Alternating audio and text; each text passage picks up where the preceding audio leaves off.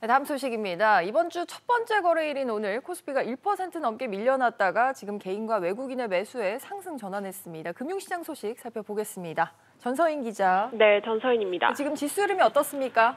네, 코스피가 2,970선에서 움직이고 있습니다. 오전 11시 10분 기준 0.15% 오른 2,972.78에서 거래 중인데요. 외국인이 장중에 매수 전환하면서 지수를 끌어올리고 있고 기관은 매도 중입니다. 이번 주에는 미국 연방준비제도의 연방공개시장위원회를 일주일 앞둔 데다가 내만여의 날까지 겹치면서 박스권에서 널뛰기 장세가 이어질 가능성이 큰 것으로 보이는데요.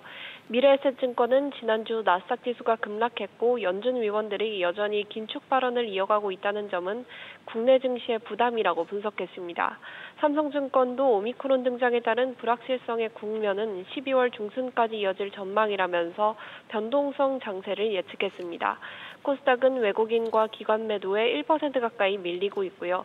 원달러 환율은 지난주보다 2원 85전 오른 1182원 95전입니다. 지금 종목세로 봐도 종목별로도 하락세가 많은 거죠. 네, 특히 기술주들의 약세가 두드러지고 있습니다. 외국인들의 매도세가 몰리면서 네이버와 카카오 2% 넘게 떨어지고 있고요. 최근에 외국인 매수에 강세를 보였던 대형 반도체주들은 하락세를 보이다 장중에 상승 전환했습니다. 지난 주말 비트코인이 20%가량 폭락하자 관련주들이 급락하고 있는데요. 비덴트와 위메이드 등의 낙폭이 큽니다.